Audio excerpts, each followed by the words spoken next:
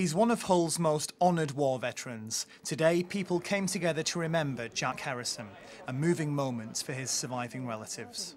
Proud of the man, we certainly are. And, uh, and to see all of this um, adoration, for want of a better word, going on is, is wonderful, wonderful.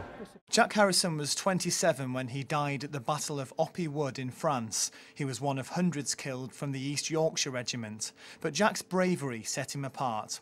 He died while leading his men into no man's land, trying to knock out a machine gun battery and save his platoon.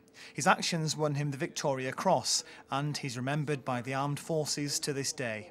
We should never forget our history, as far as I'm concerned. You know, the sort of things that he gave his life to have it have the country that we currently got today, you know, and that's immense, so we should, should never forget that. You know, we can use those attributes he demonstrated as a young man and, and use them as an example of what can be achieved and what can be demonstrated through those key, key attributes, leadership, courage, selflessness. He was christened John Harrison, but everyone knew him as Jack. A paving stone bearing his name was unveiled at Hull History Centre, but Jack is remembered for more than his military action. Before joining the army, he was a prolific try scorer for Hull FC, and present-day players still talk of his achievements.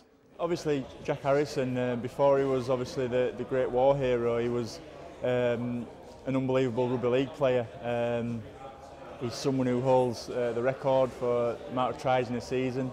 You know, and then obviously, you know, what the, the story after that is even probably even greater than that itself. You know, the sacrifice ultimately he made uh, for us all to be stood here today. So family, military personnel and rugby stars all came together today to honour Jack Harrison, a fitting group to remember a remarkable life. Matthew Bone, BBC Look North, Hull.